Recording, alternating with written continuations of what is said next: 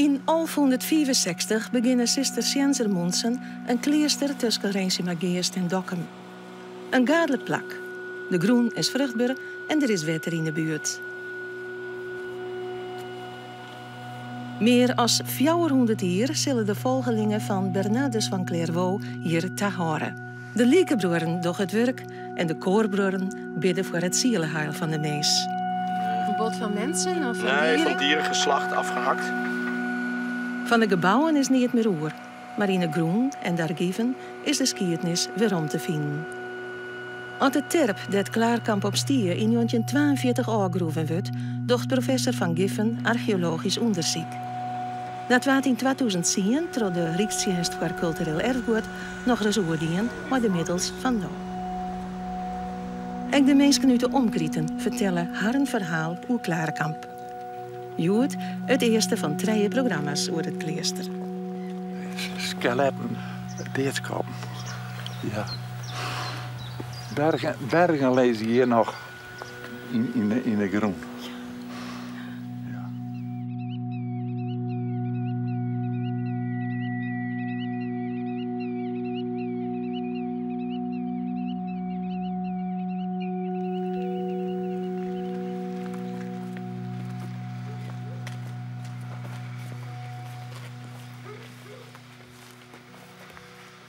Je wen jou, hè?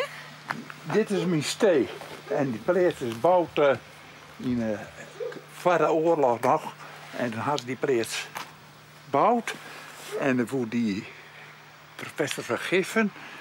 En eh, de uitvoerder Uterdijk, die wil graag die oude Friesen in staan horen. Die komen al hier die terp bij. En die eh, de eerste meter is ophangen als, als is het fundament, zeg maar, ze, dat is van eh, de oude Friesen. Daar gaan ze een stoep maken. Die is oerhouden in, maar die steen die kan maar. En dan gaan we naar een boerman. En die halen die steentjes er wel eens bij. En die verkocht ze van een dubbeltje. Toen ik vrienden en dan bij een oud meisje. Die van de Galien hier, die man. Die had er goed over tjenen. Kan je begrijpen? Een dubbeltje per stien en dat is mijn piepegaatje. Ja, wij. Maar die kwamen al hier de terp bij. Ze hien jouw zicht uit de hoeswei op eh, de opgraving. Hier is een dame dus en hier een reet.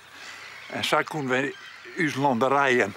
En, en, en uiteraard jongens, volk uit de geest, in de wezen. Maar uh, het deed in eind. En dan we wat jeugd nog, zeg maar even. Maar uh, productief erop bracht op het terp. Ja. In 2010 die de Rijksdienst voor Cultureel Erfgoed archeologisch onderzoek naar het jerdere plak. Hij is vrij schoon, dus dat geeft aan dat aan deze kant waarschijnlijk eh, geen gebouwen gestaan hebben. Van waaruit eh, of slooppuin of, of, eh, Nee. of, of vuilnis zeg maar, in die gracht gegooid is. Want even voor de duidelijkheid, voor de oriëntatie. We staan hier bij de Westelijke gracht. westelijke gracht. En wat, oh, ja. wat heel mooi is als je naar de vegetatie kijkt. Je ziet hier zo'n hele strook met zuring. Oh ja, daar, die Zuring inderdaad. en die ja. volgt eigenlijk het verloop van de gracht. En die zie je daar ook de bocht omgaan. Ja, ja, ja, ja. je en, ziet dan, het heel en duidelijk dat loopt dan naar onze volgende put. En daar eh, hebben we de gracht ook weer te pakken. Dus daar Ja. kunnen we nu even naartoe lopen. Nou, hartstikke mooi zeg. Ja, het is echt goed te zien. Hier zit mijn zuster op het hoogste punt van het terp. En dat is naar schatting 7 tot 8 meter boven het maaiveld. En dat zit mijn zuster te skipmelken.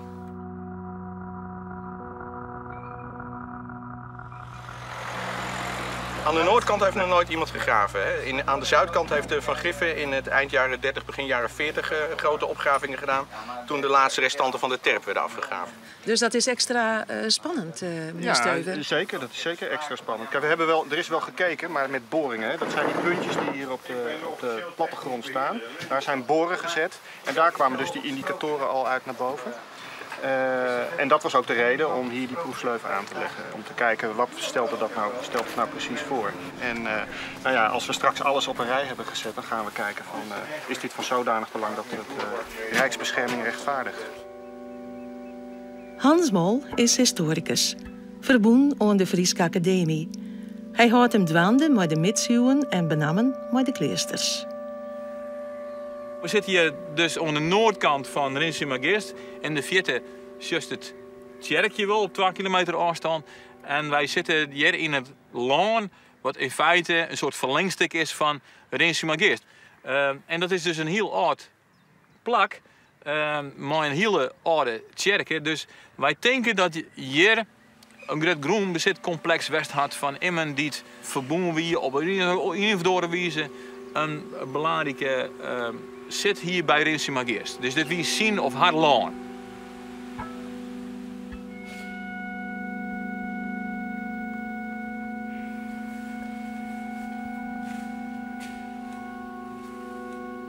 Wat zei dit al hier over de tijd voor Klaarkamp, over het ontstaan van Klaarkamp?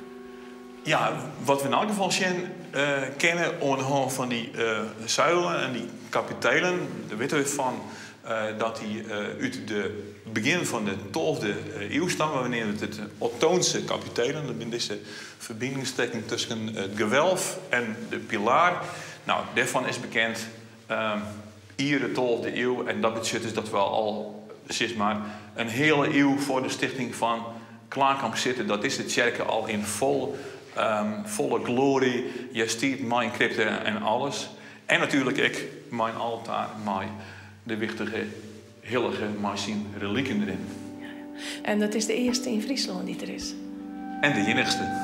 Net wel de eerste, maar vooral de enigste. Dat maakt het zo bijzonder.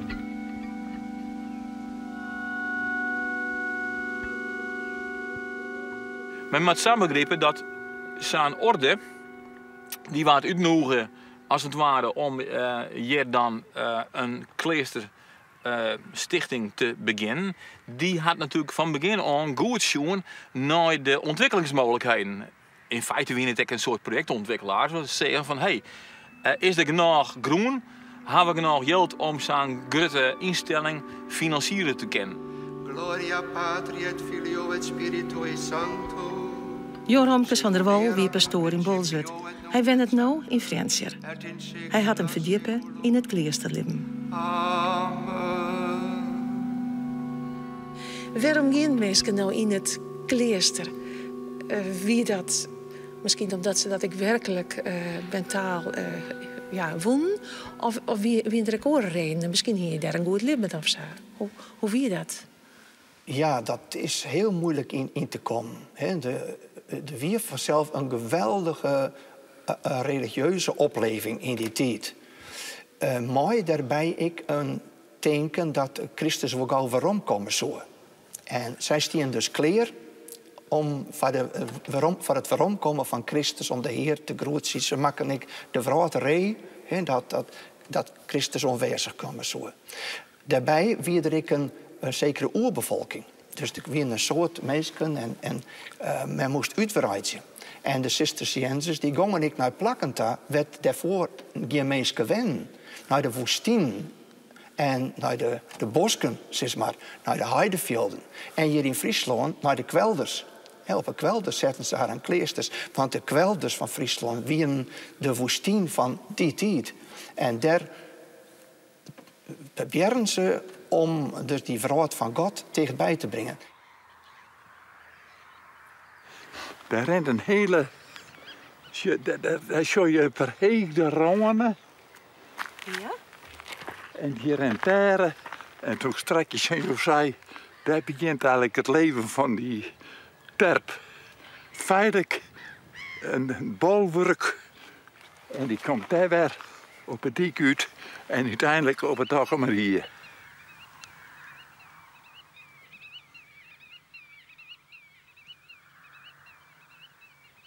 Hier ben we onder de van het terrein. Er is nog een waltje oerbleun van die terp, denk ik. En dan kist ze uh, die bocht van die grijft. En dat is natuurlijk een de meander van een streemke. Kist de mooi volgen. Zo die kant op. En dat gaat als het ware om de terp heen. Alles bij elkaar, um, ik denk, zijn zo'n 6 hectare bij elkaar. Een enorme oppervlakte. Jelve de 19e eeuw beginnen de commerciële terpenafgravings omdat de vruchtbare terpgroen goed geld opbrengt. In 1942 werd het laatste stuk van de terp van Klarenkamp verkocht en afgroeven. De broer van Prijs maakt er foto's van, want er komt heel wat boppen de groen. De Grenzer archeoloog van Giffen werd vregen zo goed en zo dat wol onderzoekt het dwan op het terp. Die afgravingen van Wierden en Terpen is al in 1840 begonnen. En in de 19e eeuw was het ook duidelijk geworden dat daarbij heel veel archeologie vernield werd.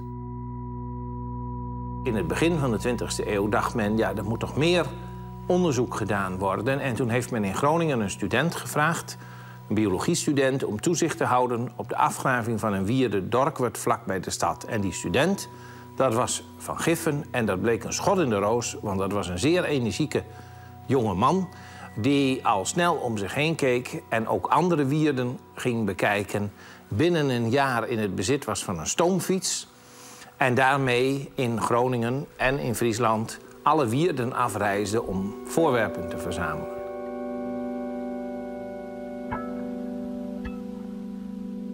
Ja, het is eigenlijk onbegrijpelijk, maar de mensen die waren voor de, voor de, in die tijd, begin 20e eeuw, waren ze eigenlijk alleen maar in objecten geïnteresseerd. Hè? Voor, voor tentoonstellingsdoeleinden. Als je een paar mooie stukken had, dan was je al tevreden. Ja, en Van Gif is een, echt een ras-echte archeoloog, een opgraver. Die was ook in grondsporen geïnteresseerd. Want die objecten die horen bij grondsporen. En als je die twee samenbrengt, dan kun je ook iets vertellen over de functionele betekenis. Dus zijn rol is toch wel belangrijk geweest.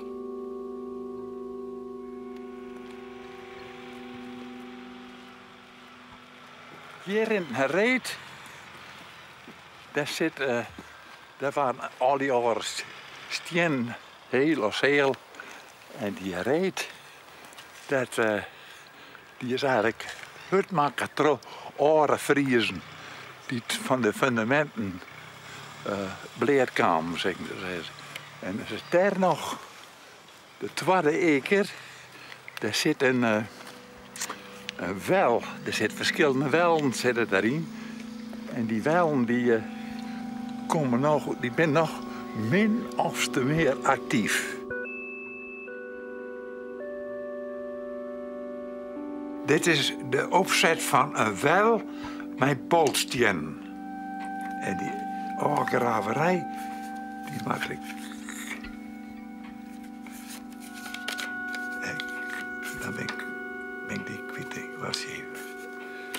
Dan maar gewoon, hè? Ja. Je kwam zijn, die, dat ben die kiepkarren en die, uh, die zetten ze ding op een kop, rijden ze vol water. Je kwam ons zien dat wij iets tegen vermaken wanneer het volk wordt wie daar geen meter toeren met de kiepkarkers. Van Giffen had altijd arbeiders aan het werk. En hier in Ezingen heeft hij heel veel gewerkt met te werkgestelde werkelozen. Die hier voor hem het graafwerk deden. En hij had een paar technici die tekeningen maakten, fotografeerden, opmetingen deden. Maar ook zorgden dat al die arbeiders natuurlijk netjes deden wat de bedoeling was. En dat de hele administratie op orde was. En dan kwam Van Giffen een paar keer per week kijken hoe ver het vorderde. En als er dan echt iets bijzonders te zien was, dan bleef hij natuurlijk ook wel eens wat langer. Maar hij was niet zelf fysiek opgraver en hij was ook lang niet alle dagen aanwezig. Dat is een groot verschil met moderne opgravingen.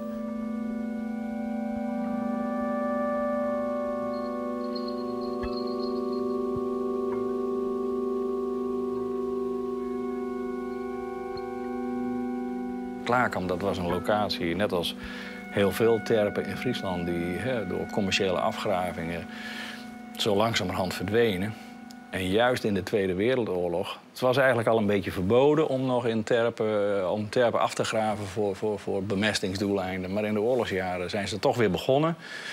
En Klaarkamp, dat lag een beetje afgelegen, dus niemand had daar ook zicht op, controle over. En toch zijn waren ze daar toch weer begonnen met, uh, met het afgraven. En toen heeft het genootschap ingegrepen en gezegd... ja, dan moeten we toch Van Giffen er echt bij hebben. Dus die moest een opgravingsteam van een andere plek halen... om daar toch bij te springen. En gelukkig dat hij dat gedaan heeft, want dankzij hem hebben we plattegronden... hebben we echte uh, tekeningen van de grondsporen die toen nog konden worden vastgelegd.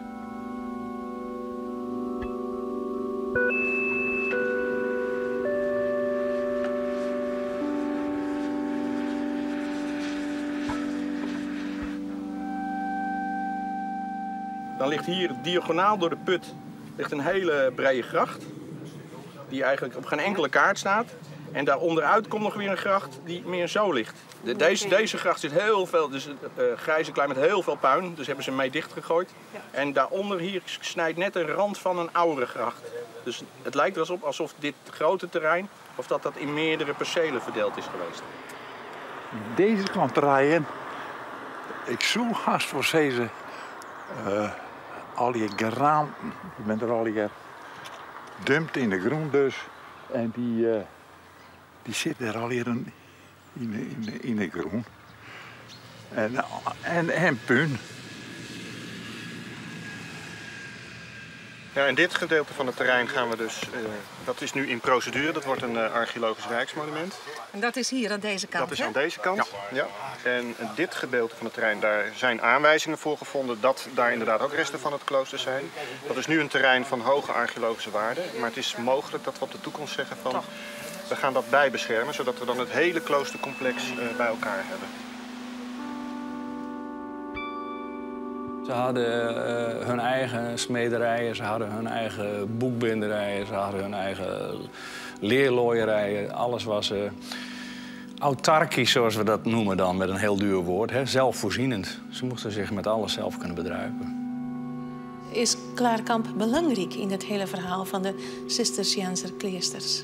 Nou, voor Friesland wel. Het was een van de eerste, hè, de, het oude, oudste klooster Odulfus bij Staveren. Daar hebben we al niets meer van. Dat is in zee verdwenen. Dus dan, dan de tweede oudste, dat is toch wel Klaarkamp. Dat was een hele belangrijke vestiging. En dat we daar zo weinig van, van, van, van, van bewaard hebben, dat is natuurlijk op zich al uh, ja, heel jammer. Dus alles wat je nog kan redden, dat moet je zeker proberen te doen.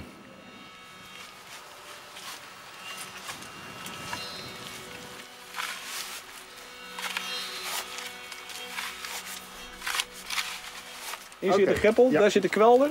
Ja. dit zijn de kwelderafzettingen. Ja, daar, daar zit, snijdt hij in. En hier snijdt de gracht in. En die verloopt dus weer nou, dus eindeloos breed. En met allemaal, uh, allemaal vullingen. Kijk, hier zien we weer zo'n vulling erin komen. Wat zou hier gebeurd zijn in, in 1200? Ja. Uh, nou ja, waarschijnlijk hebben ze toen deze gracht aangelegd en uh, een wal opgeworpen. En uh, die gracht heeft eeuwen open gelegen. Hebben ze waarschijnlijk weer een aantal keer opnieuw uitgegraven. En toen het klooster ontmanteld werd uh, in het uh, begin van de 17e eeuw, rond 1600 zeg maar. Toen zijn de kloostergebouwen afgebroken. En hebben ze de grachten grotendeels dichtgegooid met puin wat hier lag. En waarschijnlijk die wal die hier lag hebben ze hier ook ingeschoven. Dus om het terrein te egaliseren. En daarna is het grotendeels boerenland geworden.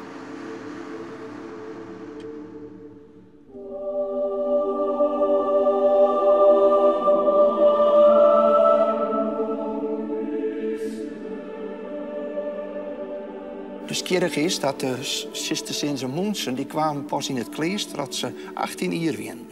Bij de Benedictijn vaak al had ze drie jaar waren, of zes jaar als ben.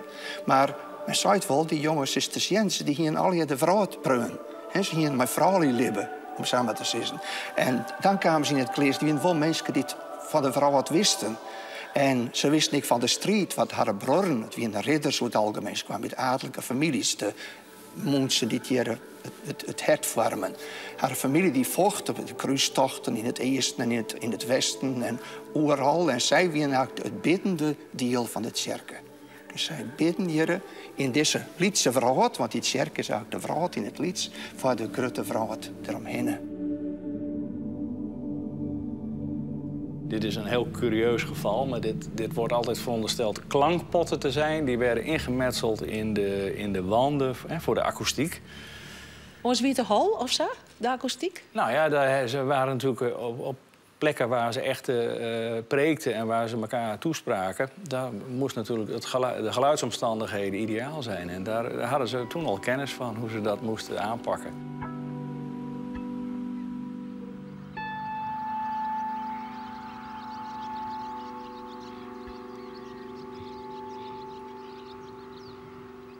Ja, ik, ik bezit je mij een beetje een soort nou ja, idee van, uh, van mezelf te.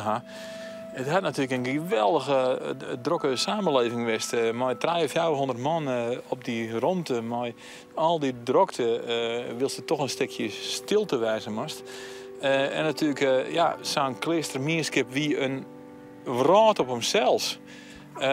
nou is het een plak van stilte, maar het wie geweldig druk. bedoel, vergeleken met een dwarkelijk als in eerst, maar het volle levendiger Westhaven zelf, wat er al hier net gebeurde. Je ziet hier heel mooi hoe die, uh, hoe die kuil gegraven is. Die komt hier onderuit, die duikt hier naar beneden. Naar de vulling van de waterput. En staat hier een houten paal. Die, uh, ja, dat is of uh, van de bekisting van de waterput die erin zit. Of een ander soort functie, weten we nog niet. Ze zijn we nog niet dieper geweest. Maar hier is hele grote waterput aan de binnenkant van de gracht. Dus waarschijnlijk hangt die samen met het gebruik van het terrein ten tijde van, van het klooster. Dus ook wel een goede plek, dicht bij de gracht waar water is. Hele grote diepe waterput waar je dus water kunt tappen of voor menselijke consumptie of voor vee. Ja. Dus, maar goed, deze gaan we niet verder opgraven, die laten we zitten. Omdat, omdat het toch de bedoeling is zo weinig mogelijk op te graven. Ja. Vooral te kijken wat er zit en va dingen vast te stellen en niet helemaal eruit te halen, want dan, dan is het weg. Nou, het is geweldig wat we hier vinden. Uh, we hebben stukken van de gracht hebben we gevonden. Het is een, heeft om dit terrein een grote, brede gracht gelegen.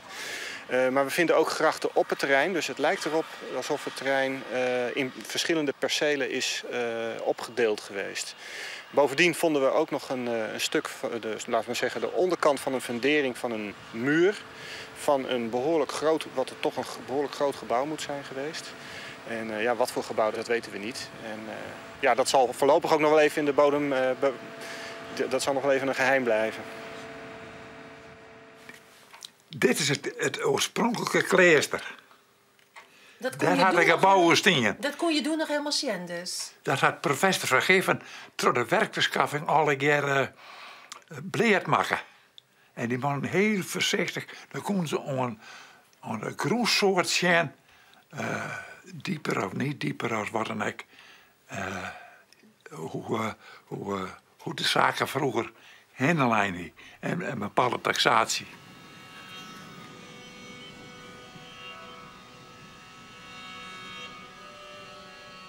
Hoe is het eerste klaarkampje eigenlijk te lonen kan?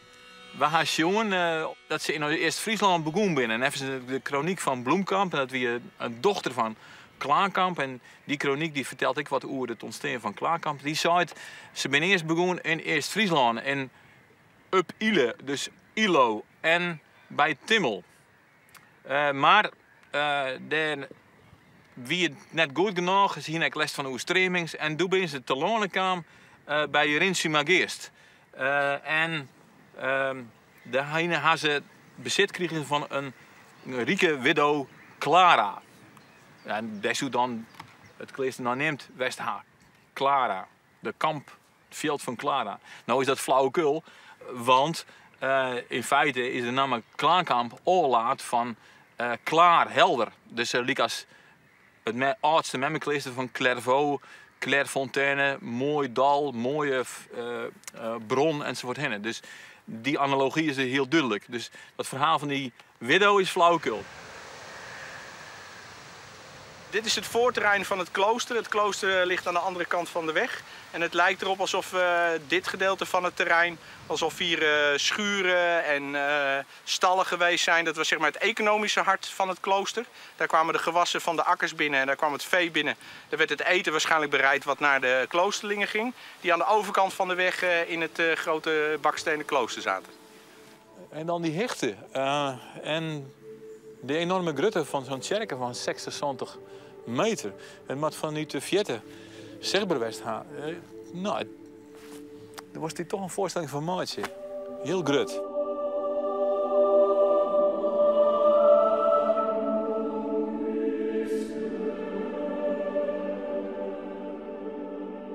Het kloppend het van een kleester is uiteraard de kerk, het soort van de eh, dat is het grootste gebouw.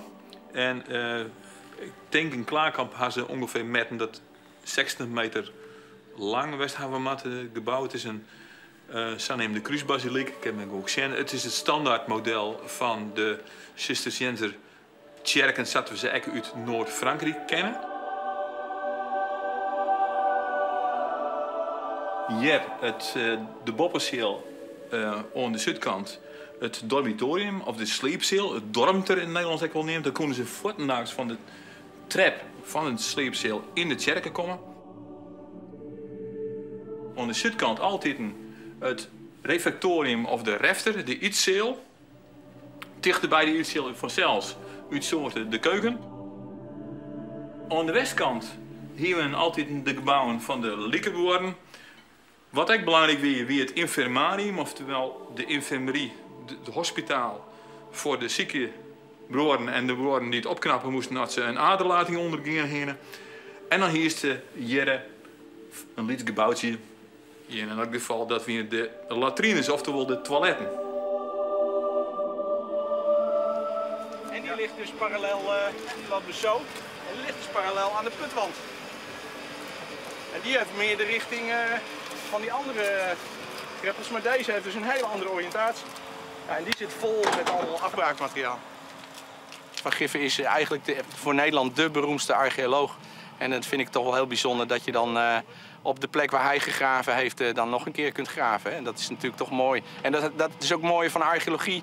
Dat uh, als je niet alles opgraaft, kun je er dus nog weer een keer naar kijken. Met nieuwe technieken en met nieuwe inzichten. Dus wij kunnen nu misschien dingen vaststellen die Van Giffen niet vast kon stellen.